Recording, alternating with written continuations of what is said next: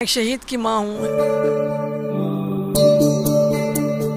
پیار ہے ہمیں پیار ہے پاکستان سے۔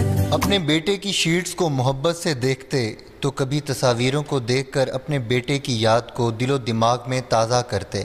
یہ ہیں میجر جہازیب عدنان شہید کے والد اور والدہ جو کہ آج بھی اپنے بیٹے کی خوشبو کو محسوس کرتے ہیں۔ میجر جہازیب عدنان شہید اٹھارہ فروری دو ہزار چودہ میں پشاور کے علاقے متنی میں دہشت گردوں سے لڑائی کرتے ہوئے شہید ہوئے۔ میجر جہازیب عدنان نے بہادری سے لڑتے ہوئے وطن عزیز کے لیے جان کا نذرانہ دیا۔ اس ملک کی سلامتی کے لیے جائیں گے۔ اللہ تعالیٰ کی راہ میں اور اس ملک کی سلامتی کے لیے شہید ہو جانا۔ یا آپ غازی بن کے آئیں گے۔ اس کے علاوہ دیر از نو تھرڈ آپشن تو جہاں سے بھی اسی موٹیویشن کے ساتھ گیا تھا he was a highly motivated soldier شہید کی والدہ کا کہنا ہے کہ میجر جہازیب عدنان شہید اٹھارہ جنوری کو پیدا ہوئے۔ اٹھارہ نومبر کو شادی ہوئی اٹھارہ مئی کو آرمی میں بطور کمیشن بھرتی ہوئے اور اٹھارہ فروری کو جامع شہادت نوش فرمائی۔ جہازیب ماشاءاللہ میرا بہت ہی بہادر بیٹا تھا۔ اکونجا شیر کے نام سے مشہور تھا اس کو یونٹ نے اکونجا کا شیر کہا تھا کہ مجھے یونٹ اس کو شیر منجا کہتے تھے۔